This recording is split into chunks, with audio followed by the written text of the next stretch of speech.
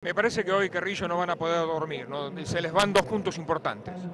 Sí, con una bronca enorme, la verdad creo que hicimos todo para, para quedarnos con los tres puntos acá en casa y bueno, por, por una desgracia no, no se pudieron lograr. Eh, me, le costó encontrar eh, el partido, ¿no? En el primer tiempo ellos este, presionaron, ustedes como que le costaba circular la pelota. Sí, sí, no sé por ahí si circular, creo que, que circular, circulamos. El problema es que no, por ahí no encontramos los espacios, ellos son